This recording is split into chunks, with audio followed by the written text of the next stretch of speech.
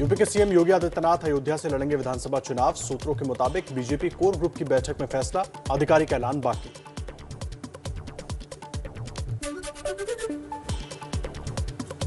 UP में seat बंटवारे को लेकर अमित शाह के साथ अनुप्रिया पटेल और आशीष पटेल की बैठक। सूत्रों के मुताबिक सीटों पर बीजेपी के साथ अपना दल और निषाद पार्टी की सहमति बनी।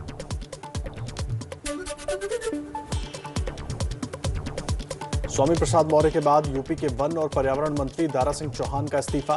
अखिलेश यादव से मिले। अखिलेश बोले दारा सिंह और स्वामी प्रसाद मौर्य हमारे साथ।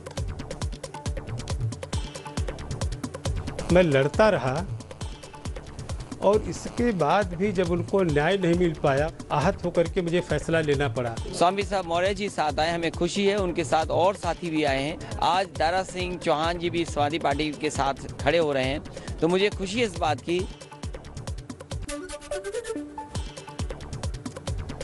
योगी के बागी मंत्री दारा सिंह चौहान के साथ अखिलेश यादव ने फ़ोटो जारी किया। बोले, दारा सिंह का समाजवादी पार्टी में स्वागत, सबको सम्मान, सबको स्थान। योगी सरकार में मंत्री पद से इस्तीफा देने वाले स्वामी प्रसाद मौर्य का ऐलान 14 जनवरी को समाजवादी पार्टी में होंगे शामिल और और लोग भी होंगे साथ। चौदह जनवरी को आप उस दिन देखेंगे, जो भी ज्वाइन करेगा, उसके चेहरे आपके सामने आएँगे।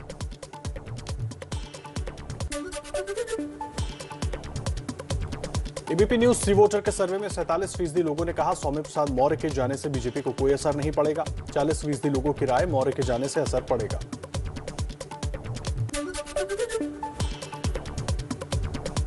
यूपी के भदोही से बीजेपी विधायक रविंद्रनाथ त्रिपाठी बोले, मेरे लेटर पैड का इस्तेमाल कर मेरे इस्तीफे की साजिश रची गई, मैं तो बीजेपी के साथ हूँ। किसी बड़े नेताओं के हाथ के द्वारा ये साजिश के तहत हमारा लेटर पैड वायरल किया गया है, जो न तो हमारे द्वारा लिखा गया है। और इसमें मैं मांग भी कर रहा हूँ, अभी मैं एफआईआर दर्ज कराने जा रहा हूँ।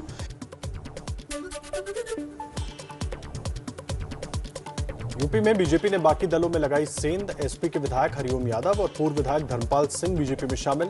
कांग्रेस के विधायक नरेश सैनी भी बीजेपी में आए। एसपी छोड़ने वाले हरिओम यादव मुलायम सिंह के रिश्तेदार हैं। हरिओम यादव की अखिलेश के चाचा रामगोपाल यादव से नहीं बनते हैं। देखिए जो सम्मान हमें सपा में मिलना चाहिए वो नहीं हमको मिला। भारतीय जनता पार्टी के प्रदेश नेतृत्व केंद्रीय नेतृत्व ने हमें जो सम्मान दिया है इसलिए हम भारतीय जनता पार्टी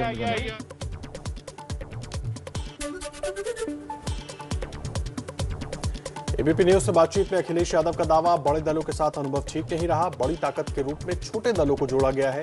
क्षेत्रीय दलों को साथ लाकर परिवर्तन लाएँगे।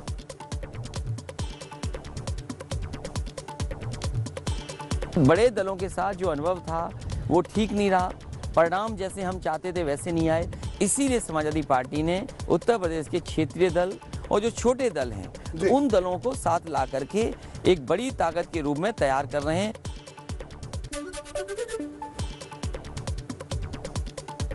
यूपी में सीट बंटवारे के लिए अखिलेश का डबल डोज वाला फॉर्मूला। सहयोगी दलों के कई नेता एसपी के चुनाव चिन्ह पर लड़ेंगे। जयंत चौधरी की पार्टी को 26 से 30 तो ओम प्रकाश राजभर को मिल सकती है 8 से 10 सीटें।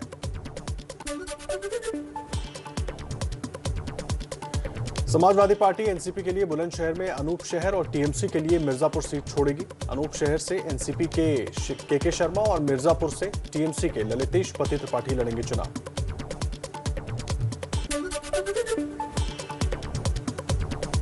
चुनाव से पहले उत्तराखंड कांग्रेस में खटपट। कांग्रेस से पूर्व प्रदेश अध्यक्ष किशोर उपाध्याय को पार्टी के सभी पदों से हटाया पार्टी विरोधी गतिविधियों का आरोप।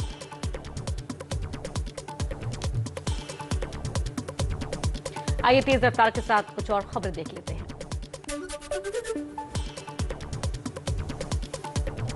पंजाब कांग्रेस के अध्यक्ष नवजोत सिंह सिद्धू ने एबीपी न्यूज़ से कहा सीएम बनना मेरे हाथ में नहीं, मुख्यमंत्री बनाना पार्टी आला कमान और जनता के हाथ में है। चुनाव चेहरे या मुद्दों पर लड़ा जाता है।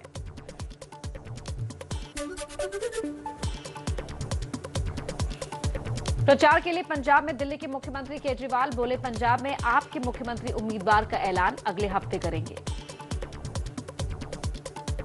लॉ एंड ऑर्डर की स्थिति काफ़ी खराब होती जा रही है। चन्नी सरकार उसको हैंडल नहीं कर पा रही है।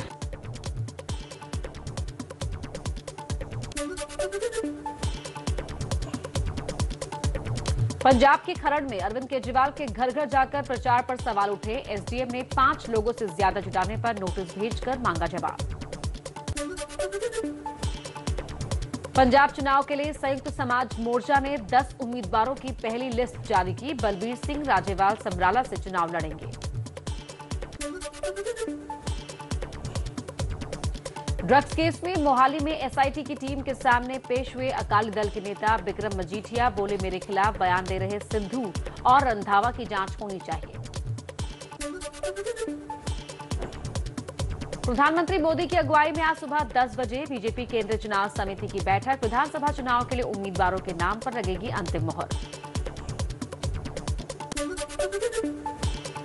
बीजेपी केंद्रीय चुनाव समिति की बैठक में अमित शाह, सीएम योगी सुनील बंसल, स्वतंत्र देव सिंह समेत तमाम नेता रहेंगे मौजूद।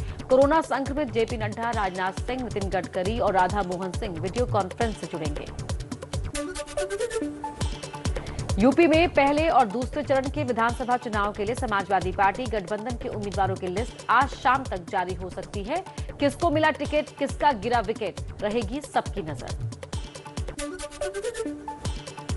पंजाब चुनाव के लिए उम्मीदवारों पर आज शाम कांग्रेस केंद्रीय चुनाव समिति की भी बैठक। पहली लिस्ट पर मोहर लगने की उम्मीद।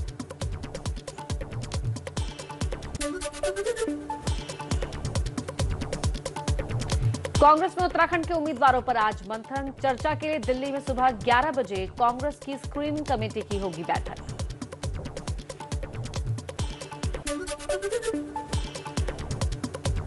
दिल्ली के सीएम केजरीवाल के पंजाब दौरे का आज दूसरा दिन। मोहाली में प्रेस कॉन्फ्रेंस करेंगे।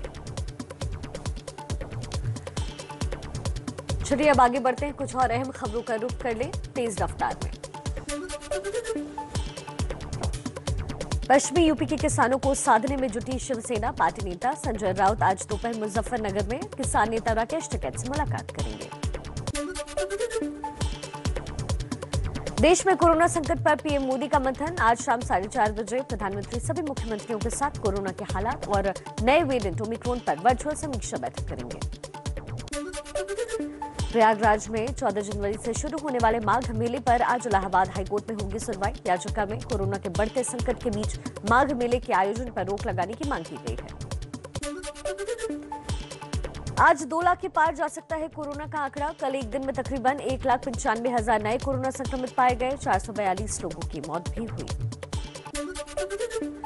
केंद्रीय स्वास्थ्य मंत्रालय ने कहा, जिन लोगों को कोरोना के लक्षण नहीं है, उनको टेस्ट कराने की ज़रूरत नहीं। घर में क्वारंटीन का समय भी अब सात दिन।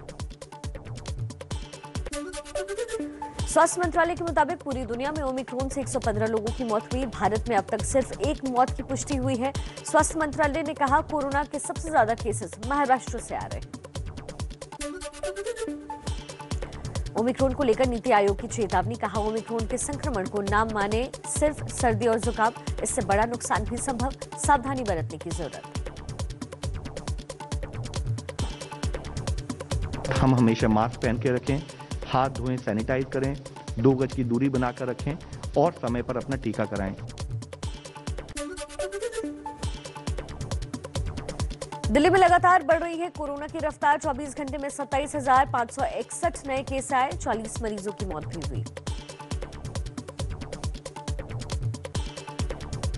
एक स्टेज के बाद जो भी संक्रामक बीमारी होती है कम्युनिटी डिज़ीज़ होती है फैलने वाली डिज़ीज़ होती हैं जब वो फैलने चालू होते हैं तो उसको कम्युनिटी डिज़ीज़ डिक्लेयर कर देना चाहिए। दिल्ली में पुलिस वालों पर कोरोना की मार, पिछले 12 दिन में 1700 से ज़्यादा पुलिसकर्मी संक्रमित पाए गए। पुलिस मुख्यालय में लगाई जा रही है बूस्टर डोज मुंबई में एक दिन में तकरीबन साढ़े सोलह हज़ार नए कोरोना केसेस रिपोर्ट हुए हैं। सात मरीजों की जान गई, पौने पंद्रह हज़ार लोग इलाज के बाद ठीक हुए। कोरोना की वैक्सीन बनाने वाली कंपनी भारत बायोटेक का दावा, कोवैक्सीन का बूस्टर ओमिक्रोन और डेल्टा वेरिएंट पर कारगर है। कोरोना संक्रमण के बाद अस्पताल में भर्ती लता मंगेशकर खतरे से बाहर। अब भी आईसीयू में भर्ती हैं। डॉक्टरों के मुताबिक 10 से 12 दिन निगरानी में रखेंगे। लता को निमोनिया हुआ है।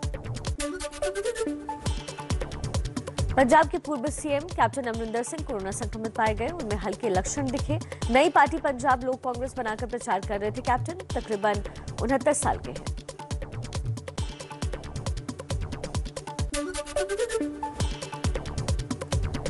दूसरे दिन के खेल के बाद रोमांचक मोड़ पर केप टाउन टेस्ट मैच। पहली पारी में भारत को तेरह रनों की लीड।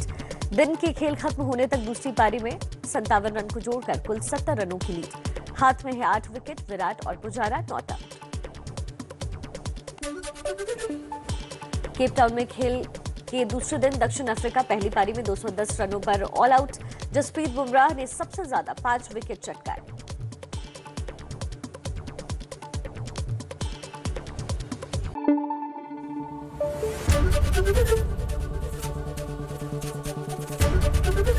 एबीपी न्यूज़ आपको रखे आगे।